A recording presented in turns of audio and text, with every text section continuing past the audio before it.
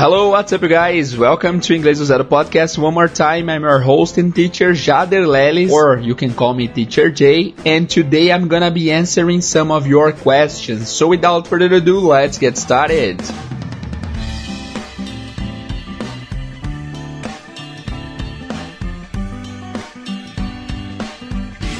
Hello people, antes de qualquer coisa eu gostaria de avisá-los que aqui em São Paulo está um calor do Saara e eu estou com o meu ventilador ligado aqui, é impossível não estar.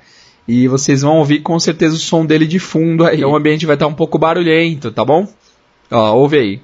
Tá um pouquinho barulhento, né? Mas graças a vocês, graças à generosidade de vários de vocês, é, nós conseguiremos adquirir um novo setup de áudio para o podcast. Nós fizemos uma vaquinha lá no site vaquinha.com e a gente arrecadou quase 200% do que eu tinha pedido. Meu Deus, eu tô sem palavras para agradecer o quão gentil vocês foram com o podcast. Muito obrigado comigo, na verdade, né? Muito obrigado pelo voto de confiança, muito obrigado por doarem. Nossa, eu fiquei sem palavras mesmo, assim, gratidão imensa. No último episódio, acho que eu comentei, na live também eu comentei que a gente vai sortear alguns cursos para quem doou, porque vocês doaram de coração, sem esperar nada em troca. Então, no mínimo que eu posso fazer para retribuir é fazer esse sorteio aí. Mas, gente, de coração, obrigado um milhão.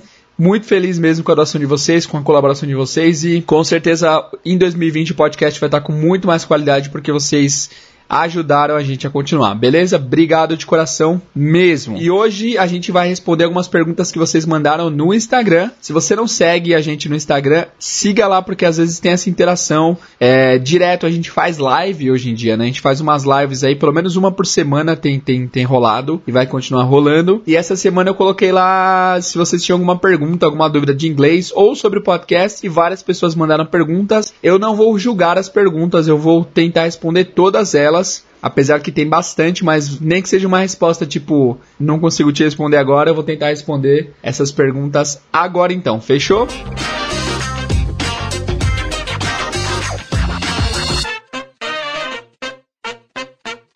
Então é isso, galera. Vamos começar então. O Souza.Michael perguntou qual é a diferença entre city e town e quando usar cada uma. Qual é a diferença entre city e town? Bom, para vocês que não sabem, city é cidade, é city, C-I-T-Y. E town é T-O-W-N. Também é cidade. As duas palavras significam cidade, talvez por isso que o Maicon perguntou qual a diferença entre elas. Bom, basicamente, Maicon, a diferença é que city é mais urbano e é maior. City é usado para cidades tipo São Paulo, é uma tipo New York City, São Paulo City, né? A gente não usa São Paulo City, mas beleza. Mexico City, né? Cidades realmente grandes, cidades metropolitanas e grandes. Enquanto town é usado para cidades menores. Por exemplo, diria que Salto de Pirapora é um, um town aqui em São Paulo, uma cidadezinha do interior.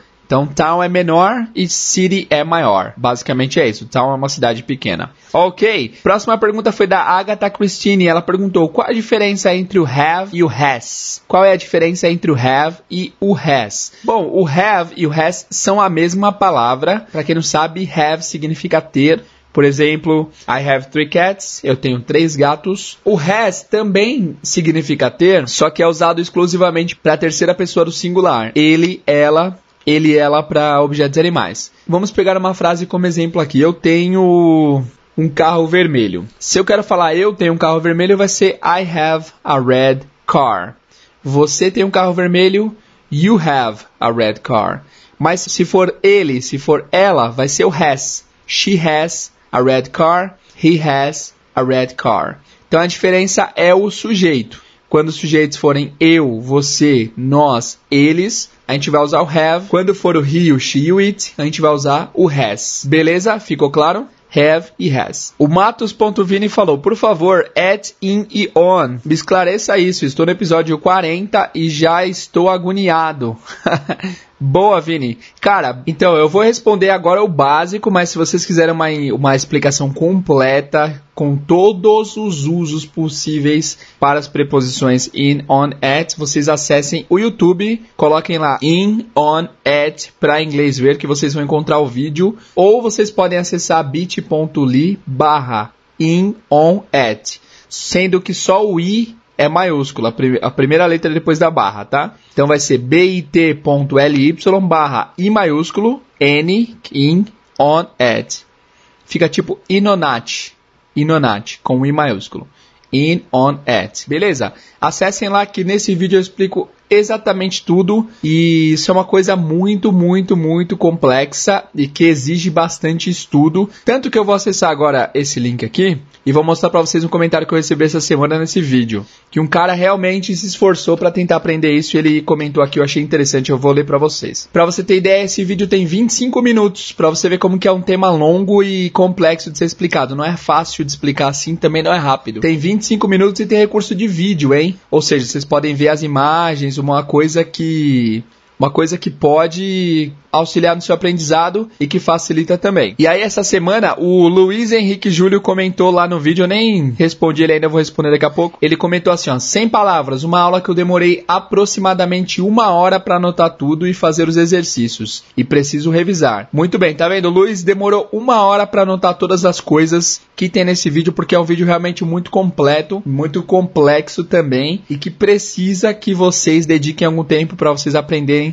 todos os usos dessas preposições posições. Eu vou, obviamente, fazer um episódio aqui no podcast só sobre isso, mas quando o nosso microfone já estiver top, ano que vem, é, com certeza vocês vão ter um episódio só sobre isso. Mas se você tem urgência em aprender sobre o in, sobre o on e sobre o at, acessa esse vídeo lá, coloca no YouTube in, on, at para inglês ver ou acessa bit.ly barra in com i maiúsculo on, at.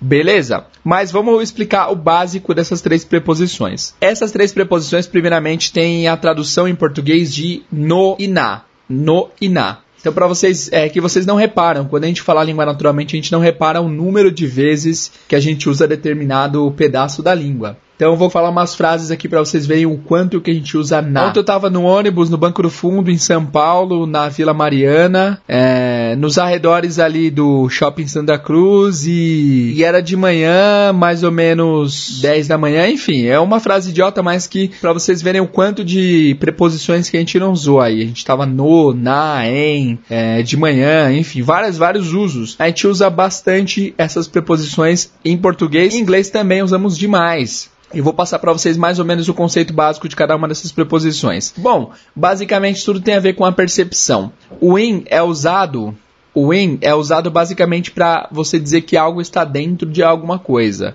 O in pode ser considerada a palavra curta para a palavra inside, que é dentro. Então, por exemplo, se eu quero falar que eu estou em que eu estou na sala de estar agora, você vai dizer I am in the living room.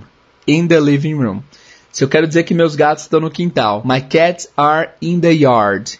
Embora o quintal não dê para você entrar no quintal assim, no sentido de estar dentro de um, de um lugar fechado, você está dentro das dependências do quintal. Então, my cats are in the yard. Minha esposa está no quarto dormindo. My wife is in the bedroom. Então esse in é sempre dentro de algum lugar. É óbvio que eu só tô falando o superficial, não vou falar tudo aqui sobre o in on at. Se vocês quiserem assistam o vídeo ou aguardem até sair esse episódio ano que vem aqui no podcast. O on é a preposição que significa em contato com. Algumas pessoas falam que o on significa em cima, mas nem sempre, né? Por exemplo, é, tem a famosa e famigerada frase The book's on the table, o livro está na mesa.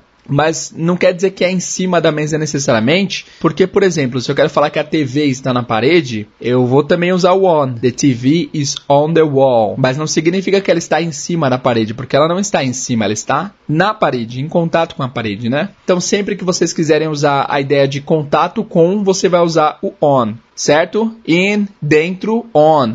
Em contato direto com, por exemplo, agora estou sentado na cadeira. I am on the chair. Meu gato está no sofá. My cat is on the sofa or on the couch. Beleza, então em dentro, on em contato com e o at é sobre especificidade. Tudo que você for específico, tudo que trabalhar com um pouco mais de detalhamento, a gente vai usar o at. Por exemplo, se você quer dizer que você trabalha em um restaurante, você pode dizer I work in a restaurant. I work in a restaurant. Eu trabalho em um restaurante.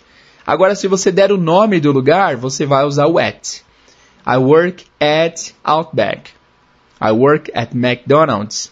I work at Fazano e assim por diante. Sempre que você der o nome do lugar, você vai usar o at porque você está sendo específico em qual dos lugares você faz tal coisa, certo? Por exemplo, meu amigo trabalha no hospital. My friend works in the hospital. Se eu quero dizer que ele trabalha no, no hospital Albert Einstein, vou falar My friend works at Albert Einstein Hospital.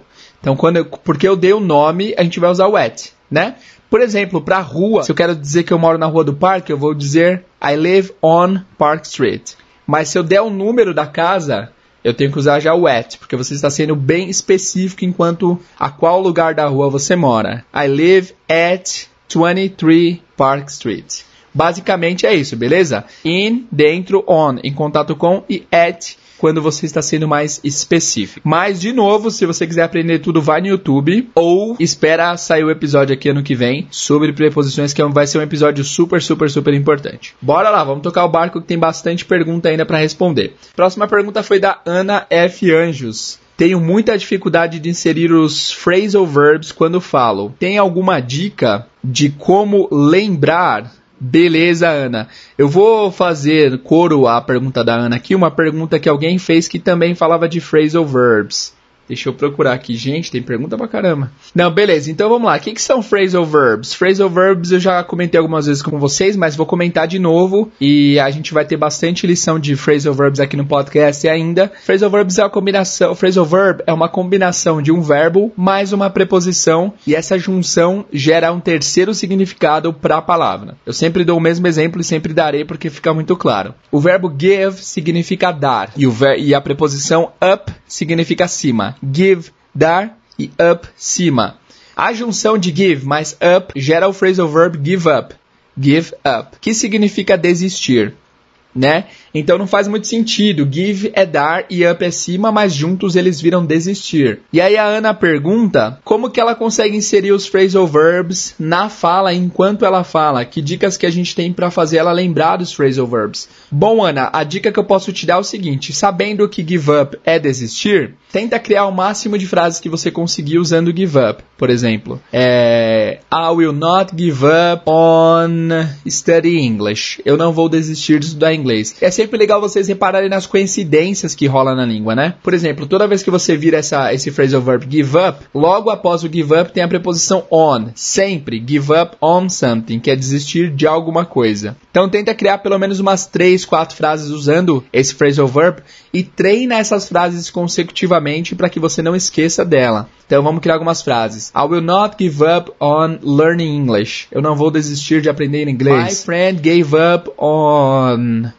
working. Meu amigo desistiu de trabalhar. Enfim, tenta criar o máximo de frases que você puder usando o phrasal verb para que você consiga passar ele para a parte ativa do seu discurso, né? Como vocês sabem, nossa parte ativa do discurso é sempre muito mais fraca, é muito menor do que a parte passiva. A gente sempre entende muito mais do que a gente pode falar. E a única forma de você conseguir falar efetivamente é você racionalmente tentando utilizar essas coisas que você aprendeu. Então a dica é, todo phrasal verb que você aprender, Ana, e todo mundo que está ouvindo, tenta criar frases usando ele para que você se acostume mais com os padrões que ele exige para que você consiga usar no dia a dia. Fechou? Próxima pergunta é do Fábio Santos, o inglês sem travar. Ele só mandou isso, o inglês sem travar. Fábio Santos, o que, que você quis dizer com isso? Como falar inglês sem travar? É... Eu vou fazer um teste com vocês aqui, um teste rápido. Todos vocês que estão me ouvindo, eu quero que vocês me respondam. Como que fala a frase em inglês? Qual é o seu nome? Como que vocês dizem em inglês a frase qual é o seu nome? Qual é o seu nome? As chances são de que a maioria de vocês falou What's your name rapidão, né? Sem pensar muito, simplesmente fluiu de vocês essa frase What's your name, certo? Bom, se você não falou, se você não falou, você deve estar pensando, ih, não deu certo. Mas What's your name é uma frase bem consagrada do inglês. Várias pessoas aprendem essa frase lá nas primeiras aulas, What's your name, né? Aqui, inclusive, nós já aprendemos. Mas o meu ponto é, por que, que você não teve que parar para pensar muito na frase What's your name? Porque ela é uma frase que você já está habituado, você não vai travar nessa frase. Porque é uma frase que você já ouviu tanto e já falou possivelmente tanto que ela para você é uma frase que não te gera nenhuma dúvida. É uma frase que você sabe que funciona, você já usou, você já viu sendo usado e isso está super consolidado na sua cabeça. É só você aplicar essa mesma técnica, esse mesmo pensamento para todo o restante da língua. Então, digamos que você quer ser capaz de falar sobre seu dia. treina o máximo que você puder falar sobre seu dia, porque sempre que você for ter que falar sobre seu dia, você não vai travar, você já vai ter treinado tanto que para você vai soar natural, certo? É, muitos de vocês sabem que no tempo de escola a gente treinava, estudava para uma prova X, mesmo que fosse muito difícil, a gente era capaz de reproduzir tudo, porque a gente treinou tanto aquilo que ficou natural. Só que com, com a língua é mais com a língua é mais forte ainda. Quando você consegue expressar ideias e você vê que essas ideias funcionam, que as pessoas entenderam o que você está falando, isso gera uma, uma emoção muito forte em você e vai fazer você consolidar o aprendizado. Quando você usar What's Your Name com algum gringo e ele entender e te responder, você vai ver que realmente a língua funciona na prática e isso vai fazer você ficar muito mais confiante e mais confortável para usar o idioma certo? Então, basicamente, sua resposta, Fábio, é o seguinte: para não travar, você precisa treinar. Você precisa treinar situações para que você esteja preparado para lidar com essas situações quando a situação aparecer. E o único jeito de treinar é treinando, não tem jeito. Bom, eu vi uma frase outro dia, não lembro exatamente como que é, mas dizia mais ou menos assim: You can only you can only improve your listening by listening. You can only improve your reading by reading. You can only improve your speaking by speaking. É uma coisa bem didática, bem clara, que é o seguinte: você só consegue melhorar o seu ouvido ouvindo. Você só consegue melhorar a sua leitura em inglês lendo. Você só consegue melhorar a sua fala falando. Embora muito óbvio, é uma coisa que poucos fazem. Muitos alunos querem melhorar a fala só ouvindo. E sinto muito, tenho novidades para vocês. Só ouvindo, você não vai melhorar a sua fala. Por mais que você esteja adquirindo tudo, todo o possível, você não vai conseguir falar melhor só ouvindo. Você tem que realmente se expor ao ato de falar para que você consiga melhorar sua fala, certo? Então, essa é minha dica final aí para vocês para você melhorar e não travar, é só você treinar sua, sua fala em situações diferentes e várias vezes e incansáveis vezes para que você, na hora de falar, não trave, porque você já vai estar tá habituado com tudo que você precisa falar. Tem uma frase que meu pai sempre falou e sempre eu achei uma frase muito legal, que ele aprendeu num curso de segurança que ele fez, que a frase era assim: treinar na paz para agir no perigo, treinar em paz para agir no perigo. O que, que significa isso? Você treinar num ambiente confiável, num ambiente que você está confortável, para quando é o perigo, você saber como agir. Então, treinar na paz para agir no perigo. Com o inglês é a mesma coisa. Treine na paz do seu lar, na, no conforto do seu caderno, é, do seu celular, para quando o perigo, entre aspas, que for a interação em inglês aparecer, você ser capaz de lidar com isso. Fechou?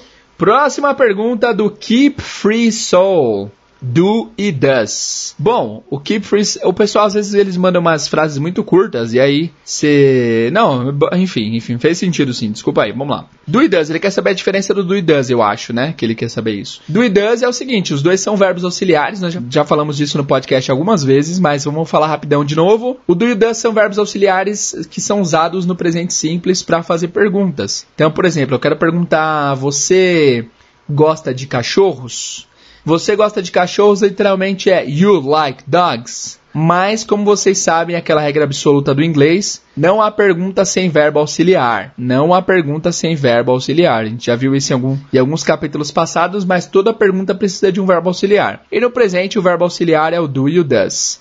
É, a dica é, Sempre que você quiser falar de rotina, de coisas que a pessoa faz, de coisas que fazem parte da vida das pessoas, você vai usar o do e does. Por exemplo, você gosta de cachorros? Isso é uma pergunta que faz parte da vida da pessoa, né? Tipo, na sua vida você gosta de cachorros? Quando for esse tipo de pergunta no presente, você vai usar o do e o does. A diferença é, você usa o do com os verbos auxiliares you, I, we e they, e o does com o he, o she e o it é mais fácil você lembrar se você lembrar que pro does é o he, she, it, e pro do é todo o restante. Então, por exemplo, na frase que a gente mencionou, você gosta de cachorro, seria Do you like dogs? Do you like dogs? Lembra, não há pergunta sem verbo auxiliar, vocês têm que usar o verbo auxiliar. Do you like dogs? Então, nesse mesmo pensamento, se, eu, se a pergunta fosse Ela gosta de gatos? Como seria? Does she like cats? Does she like cats? Do you like dogs? Do you speak English? Do I teach English well? Eu ensino inglês bem. Do you like the podcast? Você gosta do podcast? Does he speak German? Ele fala alemão? Do they play football? Eles jogam futebol? Então o do you does vai ser usado nesse sentido para como verbo auxiliar para fazer perguntas no presente simples, ok? Bom, se foi insatisfatória essa pergunta, eu vou sugerir para vocês o episódio aqui Deixa eu resgatá-lo. Então, ó, eu sugiro que vocês ouçam o, que vocês ouçam o episódio 28 que chama lá Perguntas com Dúvidas. Esse episódio a gente fala só sobre isso, mas eu dei uma explicação aqui para vocês lembrarem mais ou menos do que se trata. Beleza? Próxima pergunta é da Cacau Leão. Ela mandou aqui. Não consigo usar o present continuous. Como faço? Bom, para você usar o present continuous, primeiro, o que é o present continuous, galera? É o presente contínuo ou presente progressivo, que a gente chama em português. Que é aquele presente que denota uma ação que está acontecendo no momento da fala. Então, por exemplo, no momento, meu gato está dormindo. No momento, eu estou gravando o podcast. No momento, você está ouvindo o podcast, ou dirigindo, ou correndo na academia, ou trabalhando, ou tomando café da manhã, ou lavando louça. Enfim, o que, é, o que quer que você esteja fazendo, está rolando uma ação aí, né? Geralmente caracterizada pelo NDO trabalhando, NDO no final, é, correndo, NDO no final, lavando louça, NDO no final, enfim. Esse que é o, é o presente progressivo, esse NDO do final, que em inglês é caracterizado pelo ING, né? Então, para você usar o presente contínuo, é só você colocar o ING depois do verbo. Por exemplo, você quer dizer que. Vamos tentar resgatar algumas frases que eu falei agora há pouco que eu não lembro quase nenhuma, mas vamos lá. Eu estou trabalhando. Não, eu estou gravando podcast. I am, eu estou recording, gravando the podcast. Vocês estão ouvindo ao podcast. You are ouvir é listen, listen. You are listening to the podcast. Vocês estão ouvindo ao podcast. É, você está lavando louça. You are washing the dishes. Você está correndo. You are running. Você está trabalhando. You are working.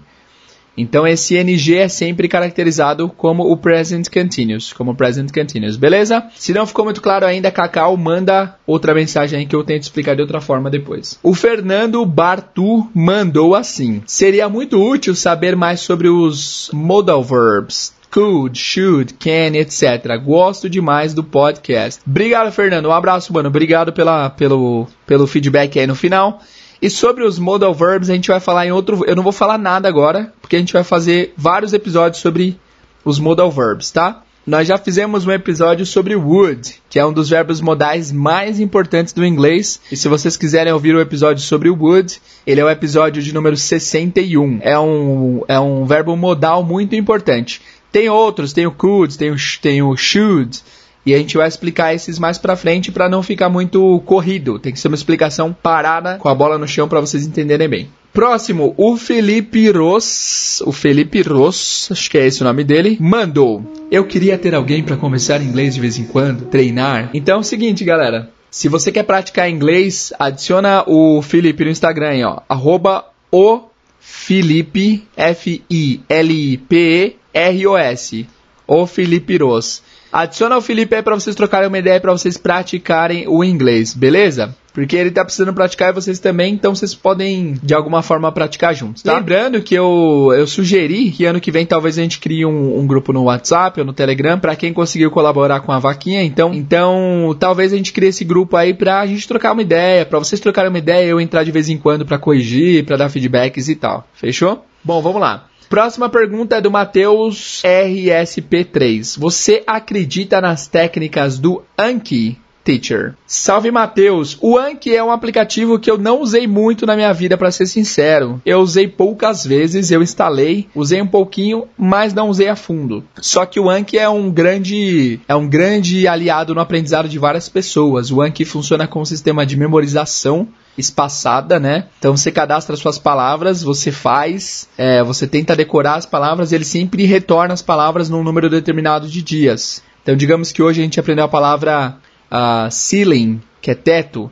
Se cadastra lá no Anki, você tenta decorar ela, e aí depois de alguns dias ele te traz de volta a palavra para você relembrar. E basicamente é isso. É isso que eu entendo do Anki, e ele é um bom aplicativo sim. Um aplicativo que eu uso parecido com o Anki é o Quizlet que aliás vocês todos já devem ter visto o Quizlet, porque eu já recomendei em vários vídeos. Lá no site tem alguns episódios que tem uma caixa do Quizlet para vocês treinarem os vocabulários, então eu uso mais o Quizlet, mas o Anki eu não posso dizer com maior propriedade porque eu nunca usei a fundo, eu usei bem superficialmente. Mas todos que usam falam bem, então eu diria para vocês tentarem. Próxima pergunta, o Dinho.diacobo falou going e o will go. Então, beleza. É, pelo que eu entendi, talvez o Dinho tenha perguntado sobre o going to e o will. Os dois são duas formas de usarem o futuro em inglês. Só que também. Meu gato tá miando aqui. Só que também a gente vai abordar esse going to e esse will num episódio futuro, tá? Sempre que tem episódios futuros, eu às vezes vou dar uma prévia para vocês, às vezes não, porque se o assunto for muito complexo e rico, a gente precisa é, tratar com mais carinho e não tão superficialmente. Então, trataremos desses dois no futuro, no futuro próximo no podcast. Próxima pergunta é do Adilson Andrade. Ele manda assim: Sei que não chegamos nessa aula ainda, mas tenho muitas dúvidas em quando usar o past participle. É, mano, esse passado particípio é complicado mesmo. E também outro assunto que a gente vai ver com bastante calma na próxima temporada. Mais uma dica para você, Adilson, é o seguinte, cara. Se você sabe o particípio no português, talvez isso ajude um pouco você a entender quando que é usado no inglês. É óbvio que tem vezes no inglês que é usado e em português não. Mas o que, que é o particípio? O particípio é o nosso idoado. Idoado, por exemplo eu tinha dormido, ele tinha falado, nós tínhamos jantado, eles uh, estavam acordados. Então esse ido basicamente vai ser a versão do, do, do particípio em inglês. E para particípio em inglês não tem segredo, não tem, não tem macete. Vocês têm que realmente decorar como são esses particípios, porque geralmente ele é diferente do presente e do passado. Exemplo. Por exemplo, o verbo drive, que é dirigir. Drive no presente é drive, no passado é drove, I drove yesterday. E no participio é driven. Driven. E quando usar, a gente de novo, desculpa uh, postergar tantos episódios, mas esse é um assunto que é muito difícil de usar. A resposta vai ser essa, vai ser a vaga, que é nosso id e nosso ado. Quando usar, a gente vai ver no futuro também. E porque não adianta, de novo, não adianta eu pegar um assunto tão complexo e tratar com vocês e tratar superficialmente com vocês para não confundir ainda mais vocês. Beleza? Próxima pergunta da Danis.silva. Dani.silva. É que Dani tá escrito bem diferente, tá? D-H-A-N-Y-I. Dani Silva. Um bom aplicativo para treinar pronúncia. Bom, Dani, essa é uma pergunta um pouco difícil, porque assim, eu acho que não tem nenhum aplicativo voltado exclusivamente para se treinar pronúncia. Porque pronúncia por si só é mais fácil você ir ao dicionário colocar a palavra e tentar repetir a palavra. Você vai no Google, coloca a palavra, uh, sei lá, ceiling de novo, que é teto. Vou tentar fazer vocês decorarem ceiling até o final do episódio. Ceiling é teto. Você vai lá, digita, tenta ouvir e repetir da maneira mais parecida possível com o que você está ouvindo. Para treinar a pronúncia, basicamente é isso. Mas acho que o que você quis dizer, além de simplesmente treinar a pronúncia, é você treinar a forma mais natural de se falar, né? A pronúncia de frases inteiras ao invés de apenas palavras soltas. Para isso, eu diria que basicamente todos os aplicativos que ensinam inglês, eles te dão uma frase e você tem que tentar repetir essa frase. Isso que é treinar a pronúncia natural, você tentar imitar as pessoas que estão falando o aplicativo, o que o aplicativo está sugerindo. Nós já fizemos um episódio aqui, a parte 1 de recomendações de aplicativos, onde nós recomendamos nove aplicativos, tá? É o episódio 56, nove aplicativos para te ajudar a aprender inglês. E desses nove aplicativos, todos eles você consegue usar essa metodologia de ouvir e repetir. Alguns deles, inclusive, inclusive tem até ah, mentores que podem ouvir o seu áudio e te dar feedbacks, como o Buzo, né? E também tem algum deles que tem até comunidade, onde você pode postar seu áudio e as pessoas nativas vão ouvir e vão te dar feedback. Putz, você poderia melhorar sua pronúncia nisso, naquilo. Então, é, eu sugiro que vocês vão, vão a esse episódio 56, vejam os nove aplicativos e decidam qual, deles, qual desses aplicativos usar ou usar todos os aplicativos, porque com certeza eles podem te ajudar a melhorar na sua, na sua pronúncia. O Tawandson, Tawandson, ô oh, Tawandson, eu lembro que ele ajudou bastante na vaquinha. Obrigado, viu, cara? Valeu. Ele mandou assim, ó, tem uma dúvida com o uso do there. E o there é o T-H-E-R-E. Cara, é simples essa, tá? O there significa ali ou lá. Ali ou lá. Por exemplo, se eu quero falar que meu melhor amigo está ali, my best friend is there, geralmente apontando, né? Tá ali, ó, ou lá, né? Ali ou lá. É there, é ali ou lá. É só você apontar para onde você quer e falar ali ou lá. Porém, se o there se junta com a com o verbo to be is ou are, ele se transforma em outra coisa. There por si só é ali e lá, mas there is é o verbo haver, é o verbo ter, né? Ter não de posse, ter de existência. Por exemplo, tenho um carro na minha garagem. There is a car in my garage. Eu tenho um carro. I have a car. Entendeu a diferença de ter, de posse e ter de existe? There is a car, I have a car. E o plural é there are. Então tem dois carros em frente da, na frente da minha casa. There are two cars in front of my house. Beleza? Uh, gente, cansei já. Quantos minutos aqui? Mentira!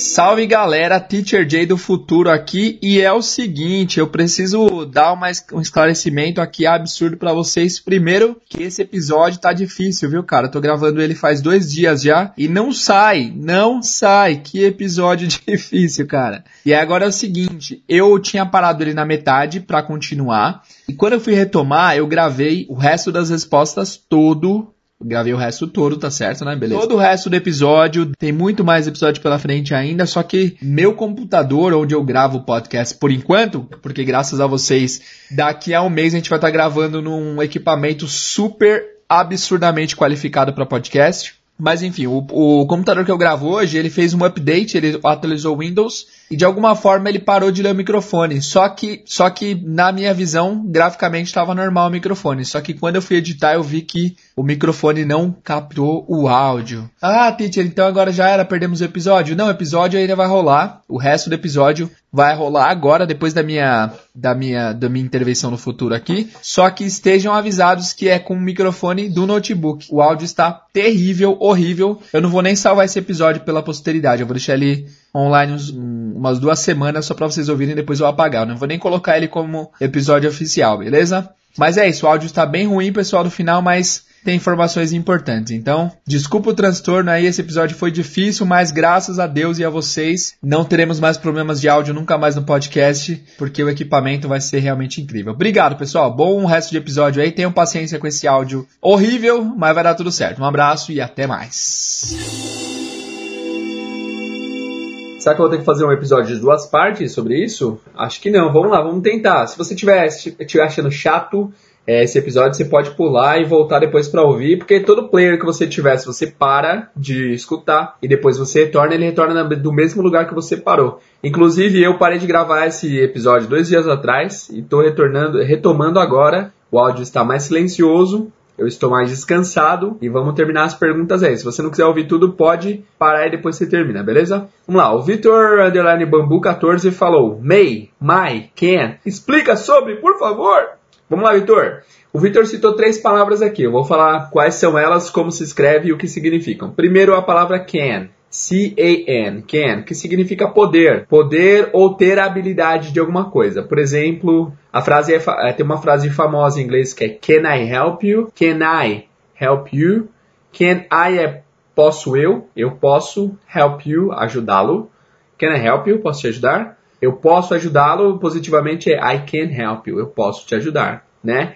Então, can é poder. Você sempre usa o can também para falar de habilidades que você tem. Por exemplo, eu toco violão. I can play the guitar. Eu posso tocar violão. Eu posso de ter habilidade, certo?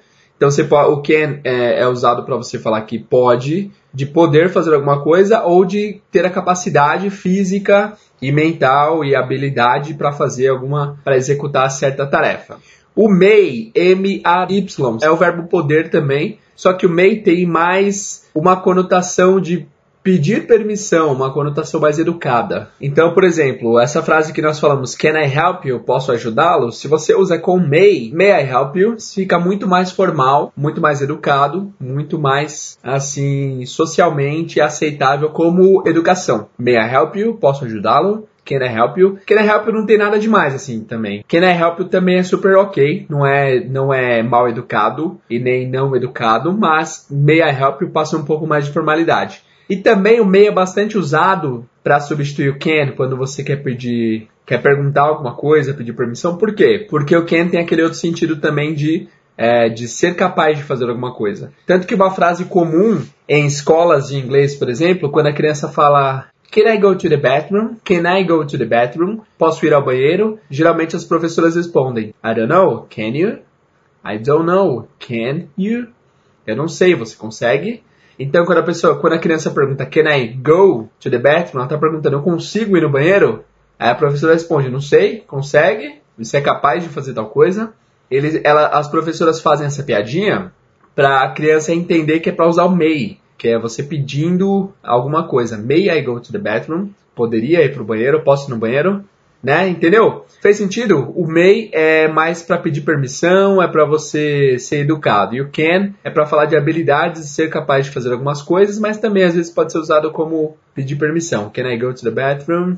Can I help you? E tal. Já o might, o might é o seguinte, se escreve M-I-G-H-T. M-I-G-H-T, might. Might também é posso, também tem uma conotação de poder, só que de possibilidade, de probabilidade. Se eu quiser dizer que isso pode ser uma boa, uma boa ideia, eu posso dizer que, ah, this might be a good idea. This might be a good idea. É, é, possível que seja uma boa ideia. Beleza? Há um pouco mais de diferença do que isso, mas a, a diferença grosseira é essa. O can é ter a habilidade de fazer alguma coisa, o may é mais para pedir permissão, para você ser mais polite, mais educado, e o might é sobre probabilidade e possibilidade. Let's go! Next pergunta, next question is from Mayara Mesquita. Ela mandou três perguntas. Estou chegando agora, então gostaria de saber se existe um material de exercício. Mayara, os materiais de exercício, os materiais escritos estão todos no site www.inglesozero.podcast.com.br. É só você acessar lá e procurar o episódio em questão, que os exercícios estão lá. Depois ela mandou vídeos de conversação para treinar? Interrogação. Bom, vídeos de conversação para treinar, Mayara. Se eu fosse vocês, eu ia lá no YouTube. Tem uma série, tem uma série que eu sempre passo em aula que chama English Conversation. Coloca lá English Conversation no YouTube que lá vai ter uma, um vídeo de mais ou menos uma hora com várias cenas simples de inglês, com vários diálogos legais. Eu vou até deixar linkado aqui no, no site nesse episódio, mas é um vídeo bem legal. Coloca lá English Conversation que vai aparecer alguns vídeos simples para você praticar a conversação e tal. Dicas de músicas para treinar para quem tá começando. Bom, música é o seguinte, cara, não dá para saber assim que música que dá para usar para quem tá começando, porque música é muito subjetiva, as letras não são muito objetivas. Eu já dei minha opinião aqui de que eu acho que é, eu preferiria que vocês focassem sua energia em outras coisas além de música, porque música eu, eu pessoalmente não acho tão tão efetivo no aprendizado a curto prazo assim. É melhor você parar, ver um texto. Eu já falei isso algumas vezes, né? Mas, enfim. Só que para treinar música, eu sugiro que vocês usem o Lyrics Training, aquele site Lyrics Training, onde você consegue ouvir e tentar identificar o que o, o que o artista tá cantando. É um site bem legal, beleza? Mas não tem, não tem isso de música mais fácil para quem tá começando. Só que tem os artistas que se escrevem mais fácil. Por exemplo, você pode ouvir o Ed Sheeran, que ele sempre escreve música bem, música bem clara. Você pode ouvir a Adele também, que ela escreve músicas bem claras. Você pode ouvir até o Bruno Mars, tirando o último CD, ele escreve músicas bem claras também. Beleza? O Jonathan.mat mato alguma coisa, cortou aqui, Jonathan, desculpa. Mandou como desenvolver conversas além de só perguntas e respostas. Bom, essa pergunta é difícil, hein, Jonathan? Como desenvolver conversas além de perguntas e respostas? Bom, pelo que eu entendi aqui, o Jonathan ele parece estar confortável já com perguntas e respostas, mas ele quer saber mais além de perguntas e respostas. Bom, além de perguntas e respostas, você tem frases, frases normais, você contando coisas e tal. Para isso, Jonathan, para você para você desenvolver isso não tem segredo, é só você tentar criar frases, tentar criar situações para que você consiga criar o pensamento em inglês. Eu já falei isso várias vezes, mas eu repito aqui que um dos melhores exercícios para vocês melhorarem o inglês de vocês é vocês narrarem sua vida. Então, narrando sua vida, Jonathan, você não vai ter nenhuma pergunta e nenhuma resposta. Você vai ter apenas narrações e descrições de coisas. Você vai acordar e vai falar: Putz, estou acordando atrasado, queria estar dormindo mais 5 minutos vou ter que pegar o ônibus, vou ter que pegar o trem, vou me trocar, vou tomar banho, vou tomar café. Aliás, nos nossos episódios de Daily Routine a gente viu bastante coisa referente a isso, né? Então é só você narrar a sua vida. Narra a sua vida todos os dias. Tenta sempre aprender uma palavra nova da sua rotina, que com certeza isso vai melhorar bastante o inglês de vocês. Próxima pergunta. Gente, tá muito longo, né? Mas tá acabando, hein? Próxima pergunta é da Yasmin. Yasmin Aledo. Como aprender inglês assistindo seriado? Ótima pergunta. Bom, o que, que eu sugiro? Vamos lá. É, seriado, eu adoro seriado, eu gosto muito. E tem algumas maneiras diferentes de vocês aprenderem com seriado. Primeiro, vocês. Eu sugiro que vocês peguem um, um seriado que tenha duração curta. Por exemplo, Friends, How I Met Your Mother, The Office. Pega esse, esses seriados que têm duração de meia hora, mais ou menos. E o segredo para assistir, para aprender assistindo, é vocês assistirem mais de uma vez. Então, primeiro é preciso estar tá claro o objetivo. Você quer assistir por entretenimento ou você quer assistir para aprender inglês? É possível os dois? É possível sim. Só que quando você assiste mais focado em aprender, você assiste diferente. Quando você assiste por entretenimento, você assiste mais se divertindo do que aprendendo. Mas também é possível aprender. Não sei se foi claro isso daí, mas beleza. Então, por exemplo, pega uma série tipo Friends.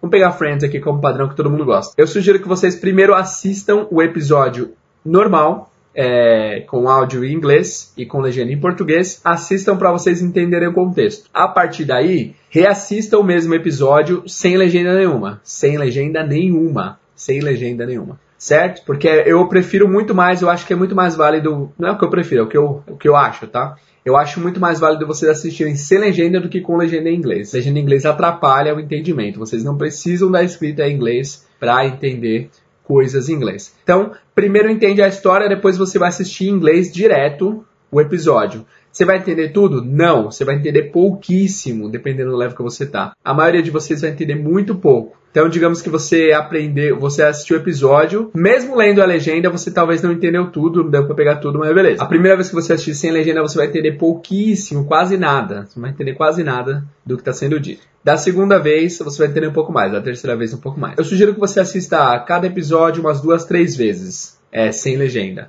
tá? Uma vez com legenda, umas duas, três vezes sem legenda. Depois você passa pro próximo, assiste uma vez com legenda, duas, três vezes sem legenda. E assim por diante.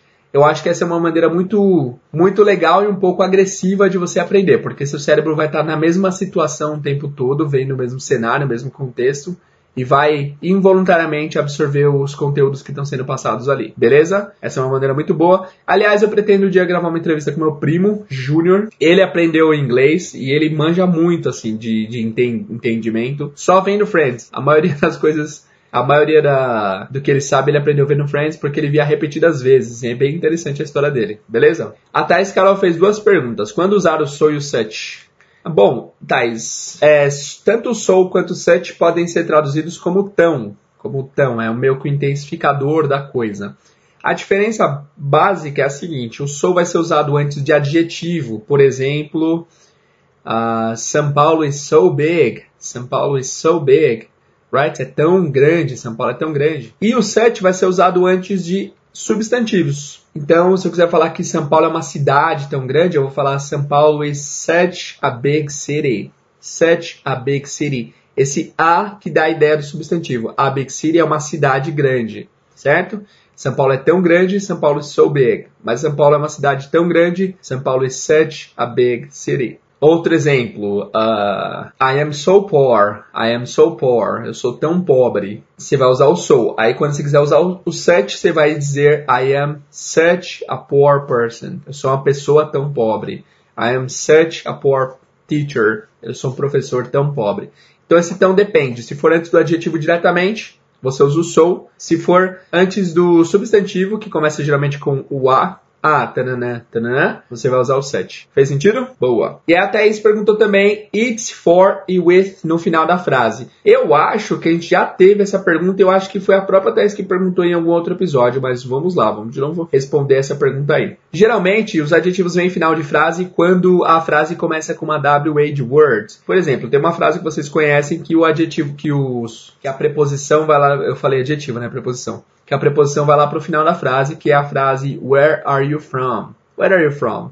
Where are you from significa de onde você é. E esse de onde você é vai lá no final em inglês. Where are you from? Por quê? Porque há uma ordem hierárquica em inglês na construção de frases. E essa ordem diz que toda a frase tem que começar com WH word se tiver uma WH word. O que, que são as WH words? Nós já temos um episódio sobre isso, mas são palavras como what, where, when, who, how e tal. Sempre que essas palavras estiverem presentes na frase, elas vão começar. Quando elas começam, as preposições vão lá para o final, elas são enxotadas lá para o final da frase. Então as preposições têm muito medo das WH words, elas saem correndo para o final da frase quando elas estão presentes. Outro exemplo: com quem você mora? Com quem você mora. Com, a preposição com em inglês é with, mas depois tem a palavra quem. Quem é uma WH word, né, que é who. Vai ficar então who do you live with, com quem você mora. Pelo que você está esperando? Pelo o, o, o que você está esperando? Pelo que você está esperando? What are you waiting for? Waiting for, esperando por, né? Por que você está esperando? Pelo que você está esperando? What are you waiting for?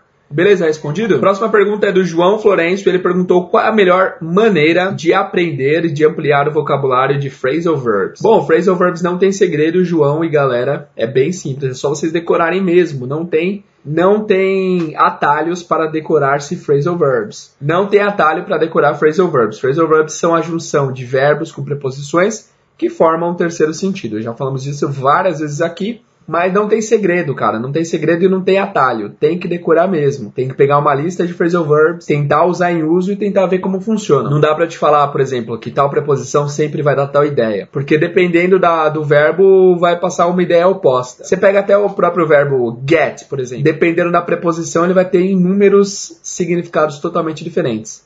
Get off é sair, get on é entrar. Get up é levantar, get down é abaixar, get away é fugir. Então depende, depende muito, depende muito. Não tem atalho, não tem segredo, tem que realmente decorar os usos dos phrasal verbs. A Jenny Drew falou tag questions. Ah, ela quis dizer question tags. Fico louca com isso. Putz, isso é um assunto muito legal que vai ficar aí para próxima temporada do podcast, que é um assunto bem complexo, tá? Mas é basicamente o né do português.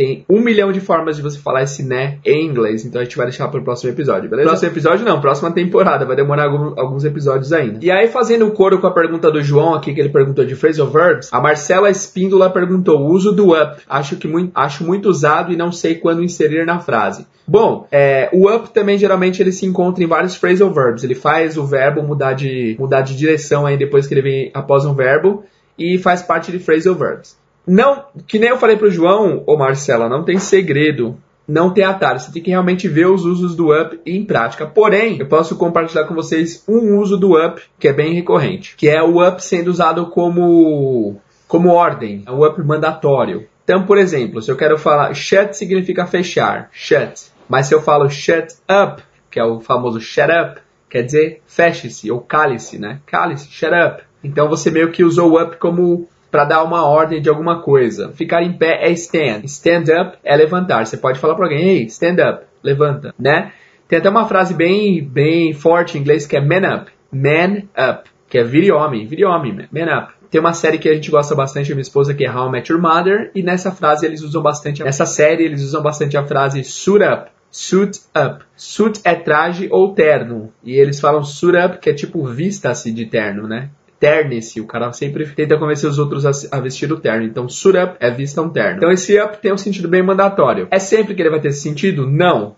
Numa, é numa situação bem específica. Você não, não tem como a gente saber os outros usos do up porque não tem regra. Simplesmente vocês têm que aprender vocabulários mesmo para vocês entenderem bem na prática, beleza? É, não foi uma resposta completa porque esse é um assunto que não tem não, não é assunto que dá para se explicar. Realmente você tem que pôr na prática, ver em prática para que você consiga aprender efetivamente. O Vinícius falou, sem dúvidas, pois estou nos primeiros episódios. Só agradecimento. Valeu. Valeu, Vinícius. Obrigado. Boa. Ó, o Júlio César fez uma pergunta aqui, mas, Júlio, não entendi direito é, que, que você perguntou aqui, cara? Eu vou ler literalmente, tá? Eu vou tentar adivinhar o que está sendo dito aqui. Acho que ele escreveu rápido, eu não sei. Mas enfim, ele colocou assim, ó. Fico com dúvidas em compreendo o que os americanos falam, porque muitas vezes juntam algumas e acabou. Bom, o que, que eu entendi? Ele tem dúvidas em compreender o que os americanos falam, porque muitas vezes talvez eles juntam algumas palavras. É, Entendi. Bom, Júlio, aí, cara, não tem, não tem massagem, né? Assim, os caras realmente vão juntar um monte de coisa durante o speech dele, durante as, fala, as falas deles. E a melhor forma de você aprender a identificar o que eles estão dizendo é você tentando,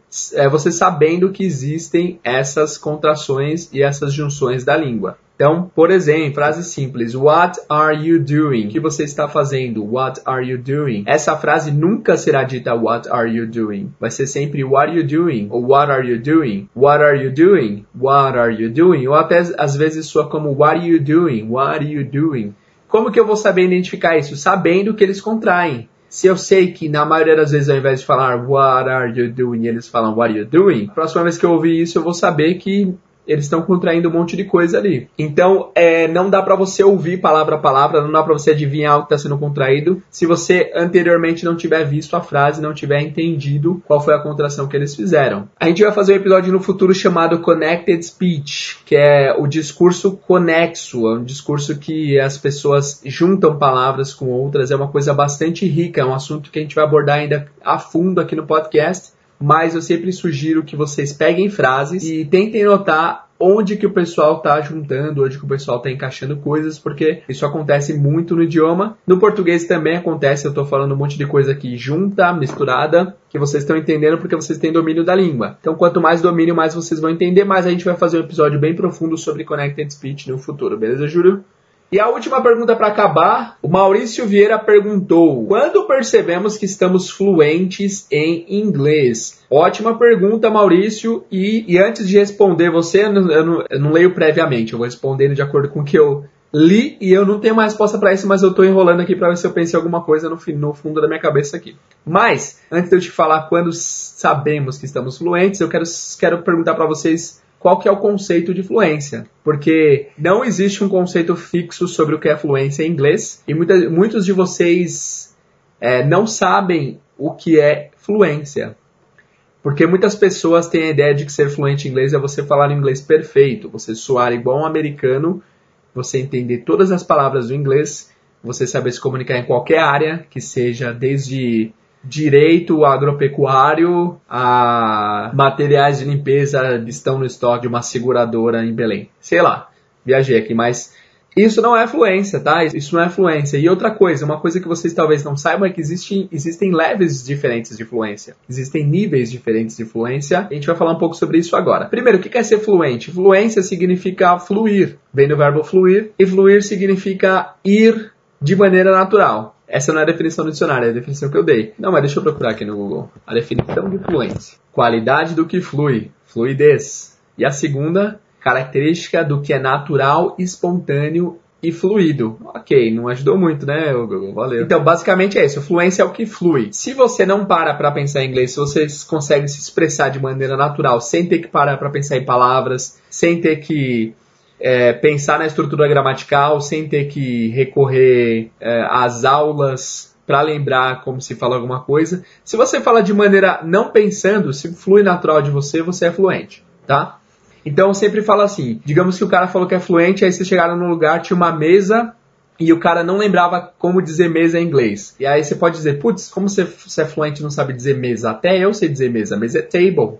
Mas você sabe dizer table porque você lembra que mesa significa table, mas o cara seria capaz de explicar o que é mesa sem a palavra mesa. Então, se você é capaz de explicar uma coisa sem usar a própria palavra, é porque você é fluente, né? Então, digamos que o cara fala assim: ah, sabe aquele lugar que geralmente as famílias sentam para jantar, para almoçar, para tomar café? Aquele lugar que você coloca o prato em cima, que você coloca a comida. Eu esqueci o nome da palavra, mas é, a gente geralmente se junta ao redor desse lugar. Em sala de reunião, empresa geralmente tem, o pessoal senta ao redor, sentados na cadeira, na frente desse objeto e tal. Então você viu tanto que o cara falou para expressar a ideia de, de, mesa, mesmo não sabendo a palavra table, é um caso hipotético, tá? Ele soube expressar muito bem o que ele não sabia, então as pessoas entenderiam que ele não sabe, né? Ele teve uma fluidez super, super acentuada, ele foi bem fluido para explicar a ideia dele. E é isso que é fluência, não é você saber palavras, é você saber expressar-se em outro idioma independente do quantidade de número, da quantidade de número de palavras que você sabe, ok? E aliás, saber vocabulário não significa ser fluente. Você pode saber muito vocabulário, mas não saber fluir com o vocabulário que você tem. Você pode ter pouco vocabulário e ser muito fluido no vocabulário que você tem. Então, fluente é bem, é bem genérico, é um termo bastante amplo. Existe o fluente que comete muito erro, que é assim que a pessoa começa a estudar inglês e tenta errar e tenta se expor e tal. A pessoa vai cometer muito erros, muitos erros, mas ela pode cometer erros sendo fluente, sendo natural ao falar, independente de cometer erros ou não. E você pode ter um fluente mais assertivo, né?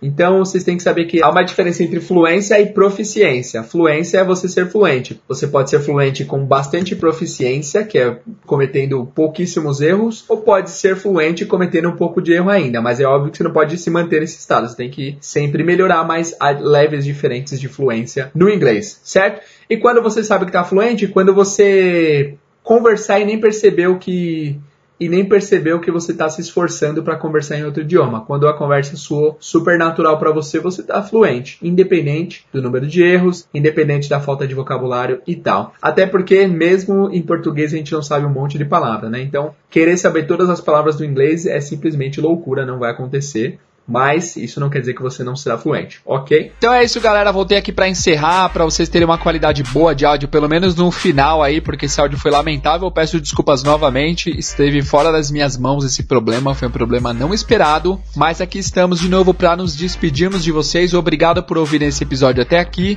Muito obrigado por sempre ouvirem o podcast. É um prazer enorme tê-los como minha audiência. Obrigado mesmo. Espero que em 2020 eu possa ajudá-los ainda mais. E se você ficou nesse episódio até esse momento, se você foi guerreiro o suficiente para aguentar quase uma hora com esse áudio horrível, vai lá no Instagram e comenta a hashtag faz episódios menores. Faz episódios menores. Faz episódios menores. Acho que o correto gramaticalmente seria faça episódios menores, mas faz episódios menores fica mais só mais agradável, né? Vai lá então na foto no Instagram desse episódio e coloca a hashtag faz episódios menores. Pra eu saber que vocês ouviram até esse momento, quase uma hora de episódio. Beleza? Bom, pessoal, de novo, muito obrigado por ouvirem até aqui. Muito obrigado por sempre nos prestigiar. Nós agradecemos e vejo vocês no próximo episódio. See you guys!